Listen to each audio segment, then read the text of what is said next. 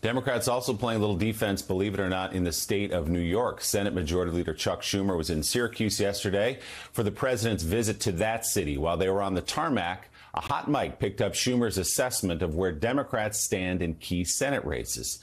We've put the verbatim quotes on the screen in case it's difficult to hear him over those plane engines. Take a look.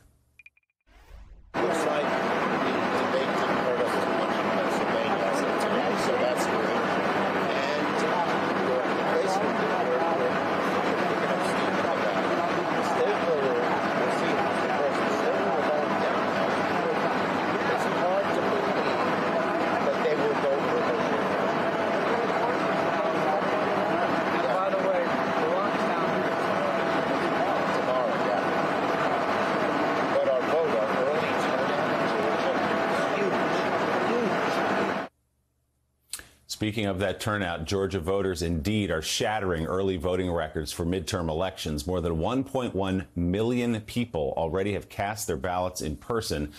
That's over half a million more votes than at this point in the last midterm elections in 2018.